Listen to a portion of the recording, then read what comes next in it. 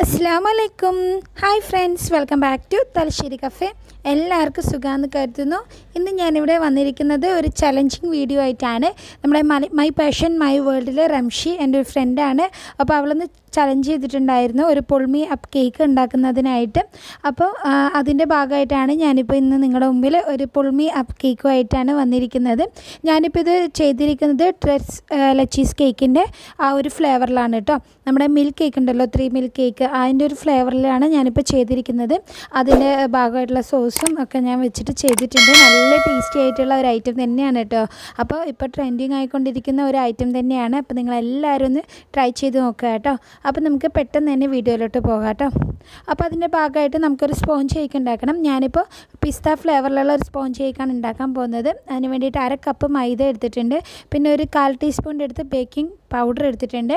അതുപോലെ ഒരു ഒരു പിഞ്ച് മാത്രം ബേക്കിംഗ് സോഡ എടുത്തിട്ടുണ്ട്. പിന്നെ അതുപോലെ തന്നെ ഒരു നുള്ള് ഉപ്പും കൂടി എടുത്തിട്ടുണ്ട്. ഇതെല്ലാം കൂടി നമുക്ക് ആദ്യം തന്നെ ഒരു മൂന്നാൽ തവണ അരിച്ചിട്ട് ഇതുപോലെ ഒന്ന് മാറ്റി വയ്ക്കാം കേട്ടോ. ഒരു മൂന്ന് തവണയെങ്കിലും മിനിമം ഒന്ന് അരിച്ച് കഴിഞ്ഞാൽ നമുക്ക് നല്ല സോഫ്റ്റ് ആയിട്ടുള്ള കേക്ക് തന്നെ കിട്ടും കേട്ടോ. ഇപ്പോൾ രണ്ട് മുട്ട ഒരു ബൗളിൽ എടുത്തിട്ടുണ്ട്. നമുക്കിതിനെ നന്നായിട്ടൊന്ന് അടിച്ച് പതിപ്പിച്ചെടുക്കാം കേട്ടോ. ഞാനിപ്പോൾ അത്യാവശ്യം വലിയ മുട്ടയാണ് എടുത്തിരിക്കുന്നത്. അതുകൊണ്ട് തന്നെ രണ്ട് മുട്ട മതിയാവും. അപ്പോൾ മുട്ടയുടെ സ്മെല്ലൊന്നും ഇല്ലാതിരിക്കാൻ വേണ്ടി ഞാൻ അതിലേക്ക് ഒരു രണ്ട് ഡ്രോപ്പ് വനില എസൻസും കൂടി ചേർത്ത് കൊടുത്തിട്ടുണ്ട് കേട്ടോ. അതോട് ചേർത്തിട്ട് നന്നായിട്ട് നമുക്കൊന്ന് ബീറ്റ് ചെയ്ത് കൊടുക്കാം.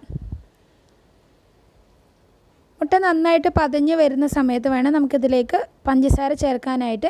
ഞാനിപ്പോൾ അരക്കപ്പ് നിറച്ചെടുത്തിട്ടില്ല. അതിൽ കുറച്ച് കുറഞ്ഞിട്ടാണ് എടുത്തിരിക്കുന്നത്. കാരണം നമ്മൾ ഇനിയിപ്പോൾ ഇതിലേക്ക് ഒരു സോസൊക്കെ ചേർക്കുന്നുണ്ട്. അപ്പോൾ ആ ഒരു സമയത്ത് മധുരം കൂടി പോകുന്നത് കൊണ്ടാണ് ഞാനിപ്പോൾ എനിക്ക് അത്രയും അധികം വേണ്ടാത്തതുകൊണ്ടാണ് ഞാനിപ്പോൾ അരക്കപ്പിൽ കുറച്ച് കുറഞ്ഞിട്ട് എടുത്തത് അപ്പോൾ നിങ്ങൾക്ക് നല്ല മധുരം ഇഷ്ടമുള്ളവരൊക്കെ ആണെങ്കിൽ അരക്കപ്പ് നിറച്ച് തന്നെ എടുക്കാം കേട്ടോ അപ്പോൾ പഞ്ചസാര ഞാനിവിടെ കുറച്ച് കുറച്ചായിട്ട് ചേർത്തിട്ട് നന്നായിട്ടൊന്ന് ഫ്ലഫി ആയിട്ട് അടിച്ചെടുത്ത് കൊണ്ടുവന്നിട്ടുണ്ട് കേട്ടോ ഇനി ഇതിലേക്ക് നമുക്കൊരു രണ്ട് ടേബിൾ സ്പൂണിന്റെ അടുത്ത് ഓയിലും കൂടി ചേർത്ത് കൊടുക്കാം. വെജിറ്റബിൾ ഓയിലാണ് ഞാനിവിടെ ചേർത്ത് കൊടുത്തിരിക്കുന്നത്. അതോട് ചേർത്തിട്ട് ജസ്റ്റ് ഒന്ന് ബീറ്റ് ചെയ്തെടുക്കാം. ഒരുപാട് നേരം ഒന്നും ബീറ്റ് ചെയ്യേണ്ട.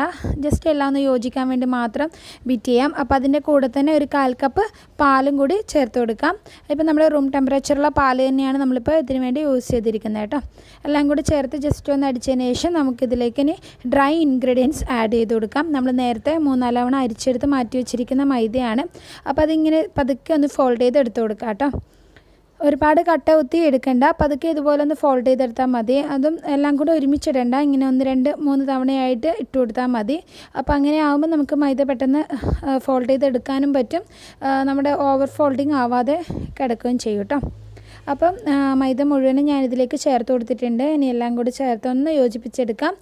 അപ്പോൾ അതിന്റെ കൂടെ തന്നെ ഞാനിപ്പോൾ ഇതിന് ഞാൻ പറഞ്ഞല്ലോ പിസ്ത ഫ്ലേവറിലാണ് ചേർക്കുന്നതെങ്കിൽ അതുകൊണ്ട് തന്നെ ഇതിലേക്ക് ഒരു രണ്ട് ഡ്രോപ്സ് പിസ്ത ഫ്ലേവർ ഒന്നും കൂടി ചേർത്ത് കൊടുക്കുന്നുണ്ട്. അപ്പോൾ ഇത് നിങ്ങൾക്ക് പിസ്തയുടെ എസൻസ് കയ്യിലുണ്ടെങ്കിൽ ഇതുപോലെ ചേർത്ത് കൊടുക്കാം. അതല്ല നിങ്ങളുടെ കയ്യിലില്ലെങ്കിൽ ഏതെങ്കിലും എസൻസ് ഉണ്ടെങ്കിൽ അത് ചേർത്ത് കൊടുക്കാം. ഒന്നും ഇല്ലെങ്കിൽ നിങ്ങൾക്ക് പ്ലെയിൻ വൈറ്റ് വാനില സ്പോഞ്ച് കേക്കായിട്ടും ഉണ്ടാക്കിയെടുക്കാം കേട്ടോ. ഇപ്പം ഞാനിന്നിപ്പോൾ ഒരു സോസ് പാനിലാണ് നമ്മുടെ കേക്ക് ബേക്ക് ചെയ്യാൻ പോകുന്നത്. ഓവനിലൊന്നല്ല നമ്മൾ സാധാ അടുപ്പിൽ ഒരു സോസ് പാൻ വെച്ചിട്ട് അതിലേക്കാണ് ബേക്ക് ചെയ്യാൻ പോകുന്നത്. അപ്പോൾ അടിയിലൊരു തട്ട് വെച്ചിട്ടുണ്ട്. അപ്പം മേലെ ആ സോസ് പാൻ ഒന്ന് ഗ്രീസ് ചെയ്തെടുത്തിട്ടുണ്ട് കേട്ടോ. ചുറ്റും ഓയിലൊന്ന് തടവിയിട്ട് ഗ്രീസ് ചെയ്തെടുത്തിട്ടുണ്ട്. എന്നിട്ട് ചെറുതായിട്ടൊന്ന് ചൂടാക്കി എടുത്തിട്ടുണ്ടായിരുന്നു ആ പാനെ. ആ പാനിലേക്കാണ് നമ്മളിപ്പോൾ നമ്മുടെ ബാറ്റർ ഒഴിച്ചു കൊടുത്തിരിക്കുന്നത്. അതിനുശേഷം ഒന്ന് ടാപ്പ് ചെയ്തതിന് ശേഷം നമുക്കിതിനെ ഏറ്റവും ലോ ഫ്ലെയിമിൽ വെച്ചിട്ട് നമുക്കൊന്ന് കുക്ക് ചെയ്തെടുക്കാം. ഇതിന്റെ മേലെ ഒരു വെയിറ്റും കൂടി വെച്ചിട്ട് കുക്ക് ചെയ്യുകയാണെങ്കിൽ എയറൊന്നും പുറത്തേക്ക് പോവില്ല. ഇപ്പോൾ ഒരു ഇരുപത് മിനിറ്റോ ഇരുപത്തഞ്ച് മിനിറ്റൊക്കെ ആയപ്പോൾ തന്നെ നമ്മുടെ കേക്ക് റെഡിയായി വന്നിട്ടുണ്ട്. നമുക്കത് മാറ്റി വയ്ക്കാം ഇനി നമുക്കിതിലേക്ക് ഞാനൊരു വൈറ്റ് ചോക്ലേറ്റ് ഗനാശയും കൂടി ചേർക്കുന്നുണ്ട് അതിന്റെ മേലെ ഒഴിക്കാനായിട്ട്. അപ്പോൾ അത് നമുക്ക് തയ്യാറാക്കാം ഒരു അര കപ്പ് വൈറ്റ് ചോക്ലേറ്റിലേക്ക് നമ്മളൊരു അര കപ്പിന്റെ അടുത്ത് തന്നെ വിപ്പിംഗ് ക്രീമും കൂടി ചേർത്ത് കൊടുത്തിട്ടുണ്ട്. ഇനി ഇതിനെ നമുക്ക് ഡബിൾ ബോയിൽ ചെയ്തെടുക്കുകയാണ് ചെയ്യുന്നത്. അപ്പോൾ ഈ- ഒരു പുൾമി കേക്ക് ഉണ്ടാക്കുമ്പോൾ നമ്മുടെ സോസ് ഒരുപാട് കട്ടി വേണ്ട കുറച്ച് ലൂസായിട്ട് വേണം കേട്ടോ ഉണ്ടാക്കാനായിട്ട്.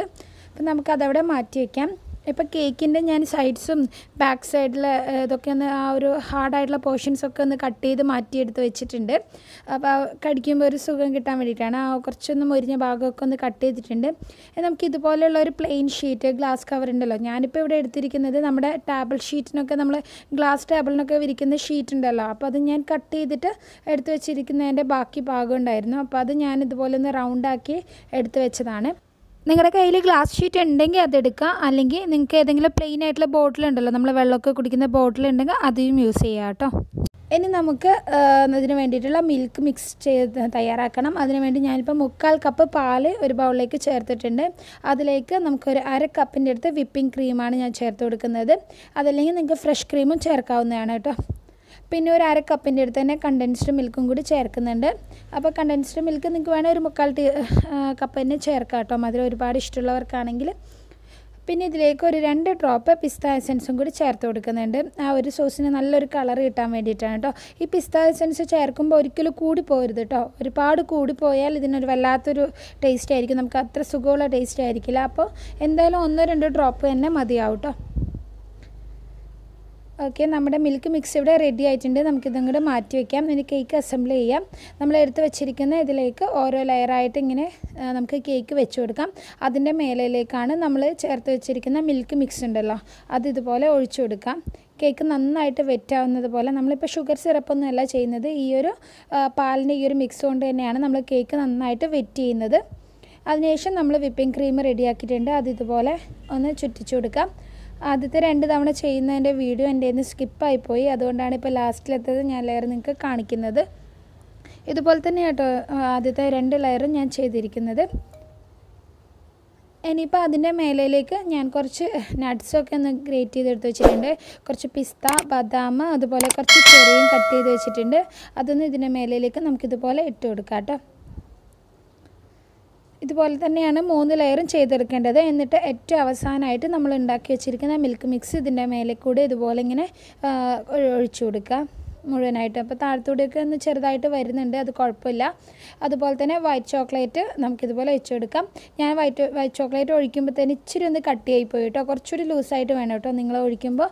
എന്നാലേ നമ്മളത് തുറക്കുമ്പോൾ തന്നെ അതിങ്ങനെ ഒഴുകി താഴോട്ടേക്ക് വരുള്ളൂ. ആ ഒരു രീതിയിലാണ് നമ്മുടെ പൊൾമിയ കേക്ക് ഉണ്ടാവേണ്ടത്. എന്റെത് ഇച്ചിരി ഒന്ന് കട്ടിയായിപ്പോയി. അപ്പോൾ നിങ്ങൾ ഉണ്ടാക്കുമ്പോൾ ശ്രദ്ധിക്കുക. അതിനുശേഷം അവസാനമായിട്ട് നമ്മൾ ഉണ്ടാക്കി വെച്ചിരിക്കുന്ന നട്ട്സും ചെറിയൊക്കെ നമുക്കിതിന്റെ മേലയിലേക്ക് ഇട്ട് കൊടുക്കുക കേട്ടോ. അപ്പോൾ നമ്മുടെ കേക്ക് ഇവിടെ റെഡി ആയിട്ടുണ്ട്. ഇനി ലാസ്റ്റ് നമ്മുടെ പാട്ട് എന്ന് പറയുന്നത് മെയിനായിട്ട് ഇതിന്റെ അട്രാക്ഷൻ എന്ന് പറയുന്നത് ഈ പുൾമിയപ്പാണ് അതെ നമ്മളിത് വലിച്ചെടുക്കുകയാണ്. അപ്പോൾ കണ്ടില്ലേ നമ്മുടെ മേലത്തെ സോസൊക്കെ ഇങ്ങനെ താഴേക്ക് വരണം. എന്റെ കുറച്ച് വൈറ്റ് ചോക്ലേറ്റ് ഇച്ചിരി കട്ടിയായതുകൊണ്ട് അതങ്ങോട്ട് താഴോട്ട് ശരിക്കും വന്നിട്ടില്ല. അപ്പോൾ ഇച്ചിരി ഇവിടെ ഒന്ന് ലൂസാക്കണം കേട്ടോ വൈറ്റ് ചോക്ലേറ്റ് ചേർക്കുന്ന സമയത്ത്. എന്നാൽ പോലും നമ്മുടെ ആ പാലിന്റെ മിൽക്ക് മിക്സൊക്കെ ഇങ്ങോട്ട് പുറത്തേക്ക് വന്നിട്ട് നല്ല സ്പോഞ്ചി ആയിട്ട് ആ പാലിൽ ഇങ്ങനെ കുതിർന്ന് എടുക്കുമ്പോൾ അതൊന്ന് കഴിക്കാനേ നല്ല ടേസ്റ്റ് ആട്ടോ. അപ്പം നിങ്ങൾ എന്തായാലും ഇതൊന്ന് ട്രൈ ചെയ്ത് നോക്കുക. അപ്പം ഇൻഷാല്ല വീണ്ടും നല്ല റിസ്പി ആയിട്ട് വരുന്നത് വരെ എല്ലാവർക്കും നന്ദി നമസ്കാരം. അപ്പോൾ എന്നത്തെയും പോലെ വീഡിയോ ഇഷ്ടമായിട്ടുണ്ടെങ്കിൽ ലൈക്ക് ചെയ്യുക ഷെയർ ചെയ്യുക കമന്റ് ചെയ്യുക. ഇതുവരെ സബ്സ്ക്രൈബ് ചെയ്യാത്തവരാണെങ്കിൽ സബ്സ്ക്രൈബ് ചെയ്യുക. Thank for watching Thalassery cafe